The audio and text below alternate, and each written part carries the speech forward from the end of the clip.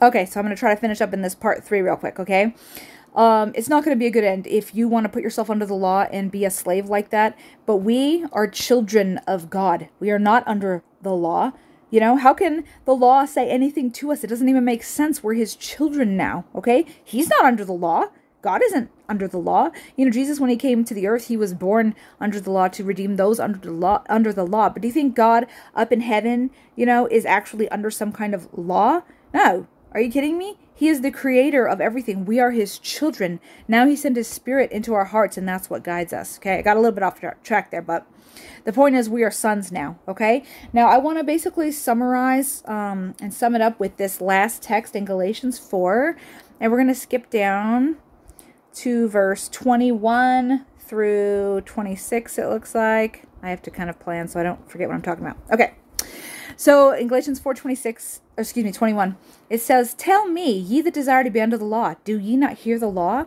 And this is what I'm saying to the Torah people out there. This is addressed to you. Tell me, you who desire to be under the law, okay? You're desiring this, okay? Don't you hear the law?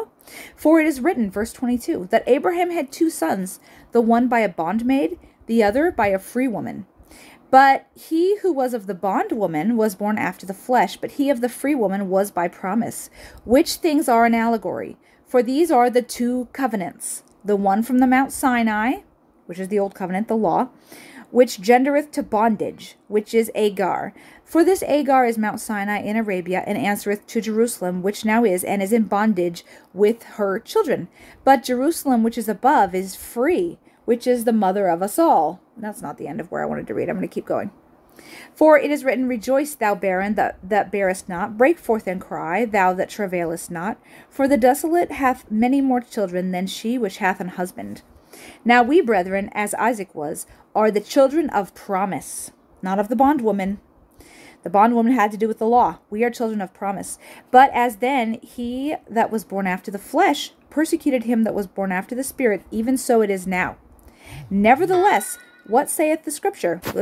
sorry, I'm getting messages here. Nevertheless, what saith the scripture? Cast out the bondwoman and her son. For the son of the bondwoman, whoops, I gotta move my bubble. For the son of the bondwoman shall not be heir with the son of the free woman. So then, brethren, we are not children of the bondwoman, but of the free. So these people who are trying to bring back law, they are literally fallen from grace, like um, he also talks about in Galatians. Okay, Paul talks about. Uh, it's completely ridiculous. You have fallen from grace. You have forgotten your first love. Okay, it's not about you keeping the law. We are not children of the law. We're not children of the bondwoman. We are children of the free woman.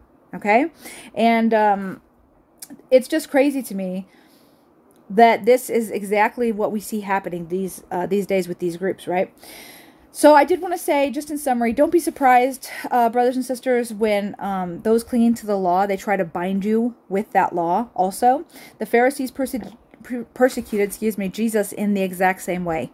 That's literally what they did. They uh, persecuted Jesus, and now those who are of the law are trying to persecute the children of the free uh, woman, which is us, right?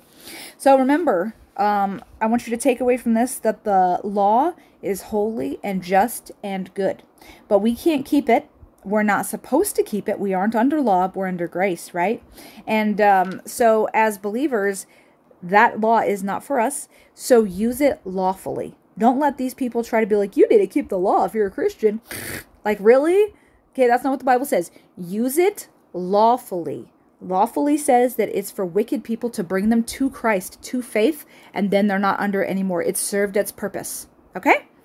If you guys have any questions, please post them in the comments. I'll be happy to address any Bible verse that you think I'm ignoring or skating around because I am not um, going to do that. I'm not going to skate around verses. If you have one that you want addressed, go ahead and post it down there. I'll be happy to address it as well. Um, but remember, we are children of the free woman. We are not children of the bondwoman. And honestly, it's a scary place to be, to be preaching the law, because this says that those who preach the law, they're children of the bondwoman, and they're not going to inherit um, with the children of the free woman. They're going to be cast out.